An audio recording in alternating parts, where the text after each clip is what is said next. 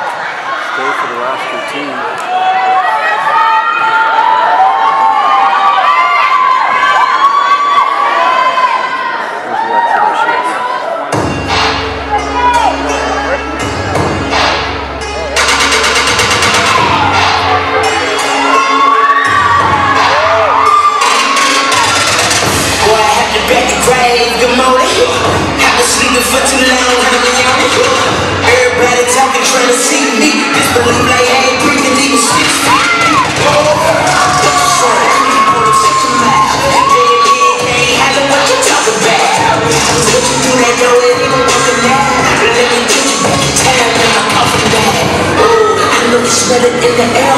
It's happening in the grave, but you know that's real. Crying out this open 12.